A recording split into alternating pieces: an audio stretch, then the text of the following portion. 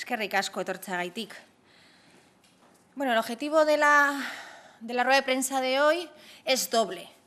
Por un lado, os vamos a explicar las distintas mociones que vamos a llevar al Pleno el próximo jueves y, por otro lado, también vamos a hacer una primera lectura sobre el proyecto de presupuestos que ayer nos presentó el equipo de Gobierno. Con respecto eh, a la batería de propuestas que llevamos nosotros al Pleno.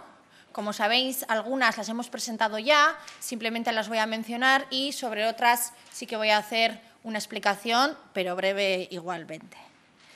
Eh, una de las mociones que llevamos, la primera de ellas, vamos a llevar siete mociones, una, de, de, las primeras que llevamos es la relativa al barrio de Betolaza.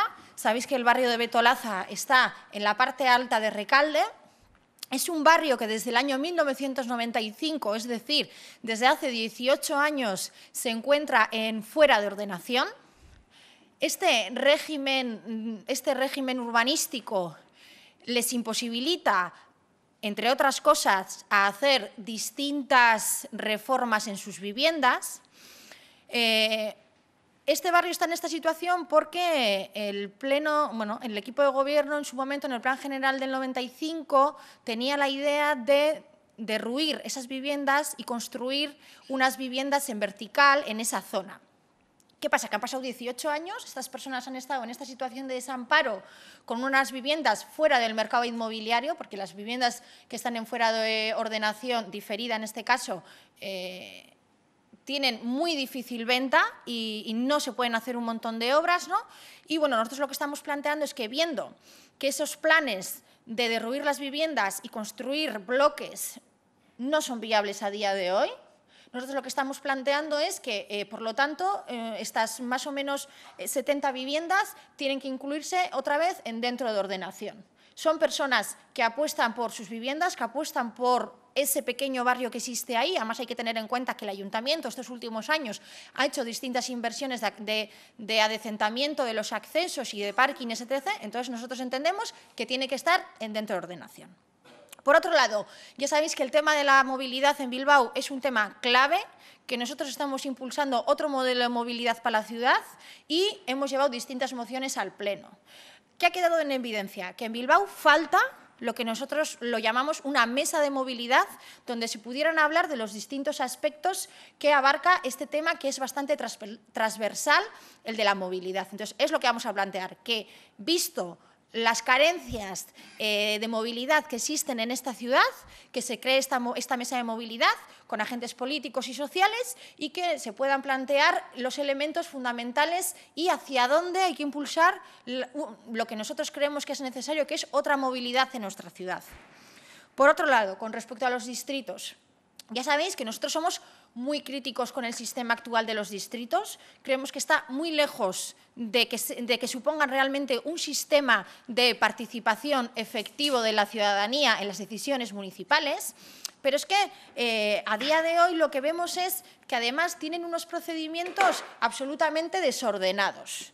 Por eso nosotros lo que vamos a plantear en otra de las mociones es una batería de propuestas relativas a ordenar ese, funcionamiento de los distritos con respecto a un calendario de reuniones, un orden del día que se pase con la suficiente antelación, facilitar la documentación a los distintos consejeros, que se recojan actas, todo ese tipo de cosas son cosas que a día de hoy no se hacen. Y creemos que para avanzar poco a poco en la efectividad de esos distritos, que nosotros creemos que el, camino será largo, hay que ir dando esos pequeños pasos. Entonces, otra, eh, otra moción irá en ese sentido.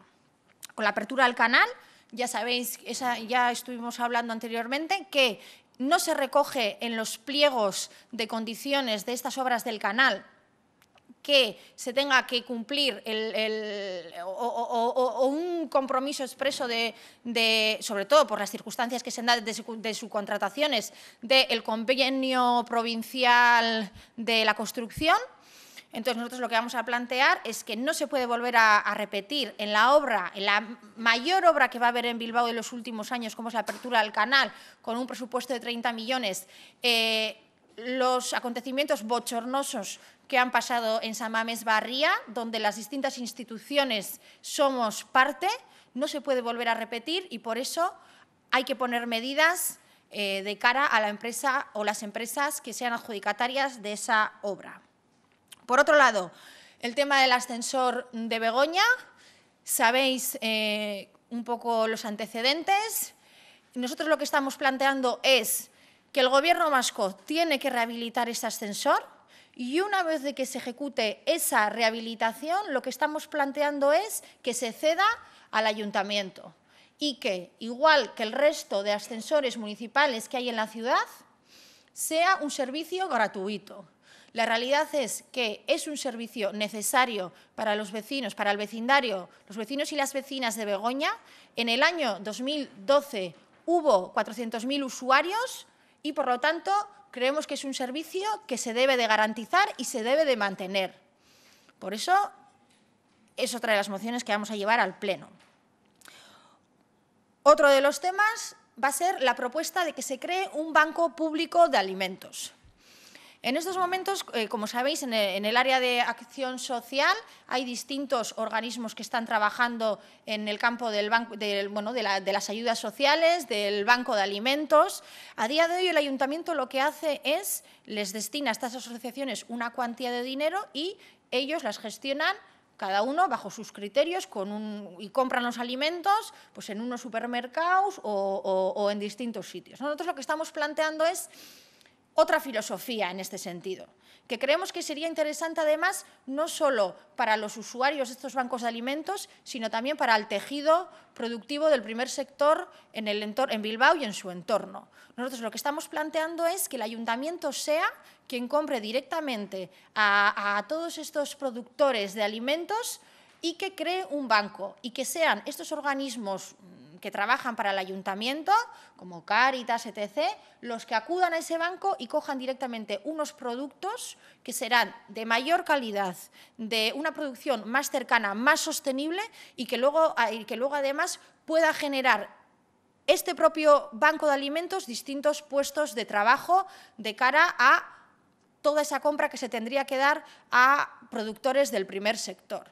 Creemos que eh, se está haciendo en otros lugares, y eh, sería absolutamente compatible. Sobre todo, cambio de filosofía. Y, yo creo que ese debate será muy interesante en el Pleno. Y luego, por último, ya sabéis, otra moción que llevamos y es el tema relativo a las antenas de telefonía móvil en el ascensor de Solocueche. Como ya sabéis, en estos momentos eh, el Consejo Escolar de Solocueche quiere que se retiren esas antenas, porque las mediciones que en estos momentos se están dando en la escuela de Solocueche son entre 90 y 100 veces superiores a las recomendadas por la Unión Europea. Tenemos que recordar que en relación al caso de Ibayondo en Gasteiz, la situación de la escuela de Solocueche es superiormente más grave, por un lado, porque las mediciones que se están dando en, el caso de Solocueche son prácticamente el doble de las que se estaban dando en Gasteiz en Ibayondo, y por otro lado, porque estas eh, eh, eh, antenas de telefonía móvil están situadas en lo que a día de hoy es una infraestructura pública. Nosotros, desde luego, ya sabéis que en el caso de Gasteiz, los niños y las niñas están dando clase con las persianas bajadas y tienen el patio clausurado, a recomendación del Gobierno vasco. En estos momentos en el Ayuntamiento tenemos una, ordenanza que es del año 2003, que está absolutamente obsoleta, y nosotros, desde luego, lo que, creemos es que a, estas madres y estos padres hay que darles una solución y que aquí el ayuntamiento se tiene que mojar, porque evidentemente, si no, ¿con qué garantías van a llevar estos padres y estas madres a sus hijos e hijas a la escuela? Hemos visto lo que ha pasado en Ibayondo, lo que pasa que esta problemática no es localizada de Gasteizal, es generalizada porque la problemática de las antenas de telefonía móvil no se le está dando una solución integral, pero evidentemente en el caso de Bilbao, a día de hoy en el caso de Solocueche, es necesario tomar medidas urgentes a este respecto. Esas van a ser un poco las siete mociones que vamos a llevar. Presupuestos. Eh, bueno, nosotros lo que creemos con este proyecto de presupuestos que nos han presentado es que, por un lado, no va a servir para garantizar todos los derechos para todas las personas en esta ciudad. Y por otro lado, que tampoco mm, contribuirá a disminuir la brecha que actualmente existe entre los barrios y el centro de la ciudad. Y es tan simple como fijarse en los números, que es en lo que se basa un presupuesto como el de Bilbao. Porque es verdad que parece que ese es el lema que están intentando vendernos, pero es que cuando vamos al detalle vemos que evidentemente es justo lo contrario. ¿Por qué decimos esto? Por un lado vemos que el presupuesto se va a incrementar un 13%, sabemos, bueno, que con el tema de los ingresos, es verdad que este año vamos a sufrir un pequeño espejismo en torno al incremento de, de, estos ingresos, ¿no? Pero la realidad es que el incremento del presupuesto es de un 13%. Pero luego vemos, sin embargo, que en un área como acción social, el incremento este año va a ser de un 2,57. Hay partidas, las fundamentales, como pueden ser las AES o las ayudas municipales, que se van a mantener, e incluso hay partidas como los, alojamientos de urgencia que van a disminuir. Y claro, si tenemos prácticamente lo mismo en acción social y lo que es una evidencia es que las necesidades se han incrementado exponencialmente, nosotros creemos que es absolutamente insuficiente y que evidentemente, como pasó en el año pasado, hubo gente que se quedó sin ayudas sociales. Más de 20.000 personas se quedaron sin ayudas sociales. Entonces, este presupuesto no garantizará, no garantizará todos los derechos para todas las personas. Y con respecto a los barrios, nosotros creemos que solamente hay que fijarse en los números para ser conscientes de que este presupuesto no acabará con la brecha que existe actualmente entre los barrios y el centro. Al conjunto de los 40 barrios, las inversiones en el conjunto de los 40 barrios supondrá el 3,87 de todo el presupuesto. El 3,87, que en dinero son 20 millones de euros. 20 millones de euros para 40 barrios. Y mientras tanto, esa misma cuantía, esos mismos 20 millones, se van a utilizar para una única operación, que es la operación especulativa de Zorrozaurre. Entonces, ¿invertimos lo mismo en el centro, en las zonas céntricas, que en los barrios? Pues es una evidencia que no. Y otro dato, en todos los distritos, en cada uno de los distritos, se van a invertir 1.400.000 euros. Y es que es lo mismo que se gasta este ayuntamiento en el BBK Life. Entonces, nosotros creemos que es absolutamente insuficiente y que no se puede hablar de que la prioridad de este ayuntamiento van a ser los barrios, porque a la vista está que no. Luego, además, ¿qué vamos a hacer en este ayuntamiento? Lo que vamos a hacer o en este proyecto de presupuestos, ¿qué vamos? pues terminar de pagar la deuda que tenemos con Bilbao Ría 2000, que eso es un elemento para nosotros fundamental, que este año, en el presupuesto de este año, supondrán 9,5 millones de euros. Es decir, la mitad de lo que se va a invertir en este presupuesto municipal en los barrios. Creemos que si no hubiera sido por esta operación ruinosa de Iberdrola, que a lo largo del año pasado hemos hablado en distintas ocasiones y creo además que vamos a tener que seguir hablando en los próximos meses, tendríamos esos 9,5 millones de más que ahora hay que pagar a Bilbao Ría 2000. Como decía, nosotros creemos que a, los, otros nos remitimos que es absolutamente mentira tanto las afirmaciones como la segunda, y nuestras enmiendas irán en ese sentido, a reforzar las áreas donde más necesidades existen y a reforzar lo que creemos que es una injusticia, que es la situación de los barrios, la situación desde hace 20 mm, años de muchos barrios que no tienen accesibilidad, no tienen equipamientos, etc. Eh, en ese sentido irán eh, las enmiendas que vamos a presentar y cuando las presentemos entraremos al detalle de, de dónde quitaremos y dónde pondremos. Pero en líneas generales eh, eso es lo que teníamos que decir. Y se me ha olvidado decir también antes con el tema de las mociones que con el tema de la moción de las antenas Hoy el Consejo Escolar de Solocueche ha convocado a las cuatro y media una concentración a la salida de la escuela de, los padres, los gurasos, los iracasles, los vecinos también han convocado y que nosotros, por supuesto, vamos a estar allí con ellos. Y os invitaría a todos a acudir porque creo que es importante darles voz eh, a, estos vecinos que llevan peleándose este tema desde el año 2001 y a estas amas y estos aitas que, a, pesar de muchas dificultades se animan a organizarse en este tipo de concentraciones. Y ahora si queréis preguntar algo.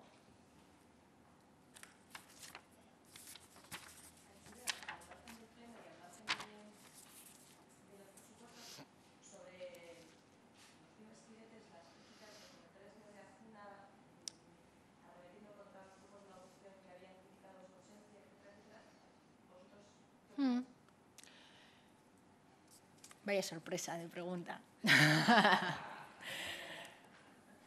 Cada uno hace su trabajo, está claro. Bueno, nosotros, eh, con respecto a las declaraciones de ayer al alcalde, creemos que son unas declaraciones muy desafortunadas. Creemos que a la crítica política hay que responderle con otra crítica política.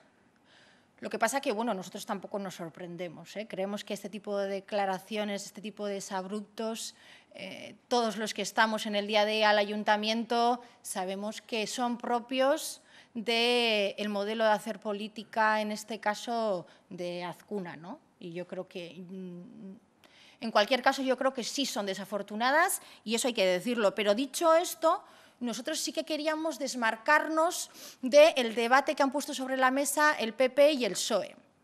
Y explico claramente por qué. Nosotros creemos que en este caso Azcuna y el equipo de gobierno, el resto del equipo de gobierno, son lo mismo.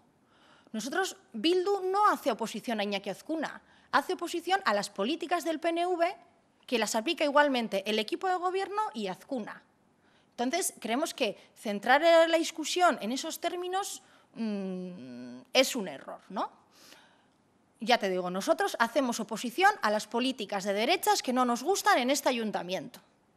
Otra cosa es hablar sobre la figura del alcalde, en la que nosotros hemos sido muy claros hasta ahora, y es que a lo largo de estos últimos meses.